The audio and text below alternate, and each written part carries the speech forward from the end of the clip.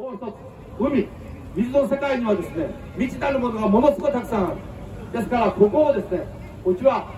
日本最高の汽水湖浜田湖がある。それから遠州灘がある。駿河湾がある。こうしたですね海の幸をこれから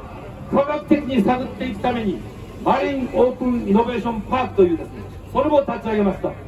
これはですね実は第一次産業に従事している人たちが新しい技術を前提にして安定的に美味しいものを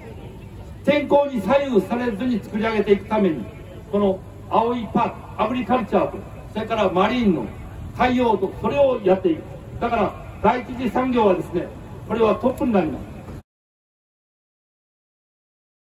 ここで中心の次世代自動車です。次世代自動車を作っていくことはこれはですねもう不可避の問題になりました。ですから電気に変わっていく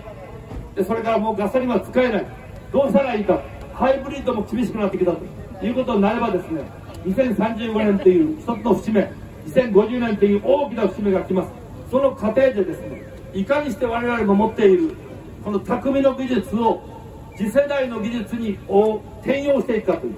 産業転換が行わねばなりません。そのためにですね浜松がそれが中心になりましてイノベーションセンターというものを持ってそしてこれは大学ではダメですから車を分解し電気自動車を分解してですね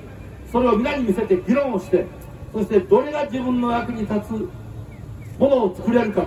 ということを見ていただいて現場で見ていただく仕事をしていただいております。そういうふうにですね次世代産業を作り上げていくというようなことです。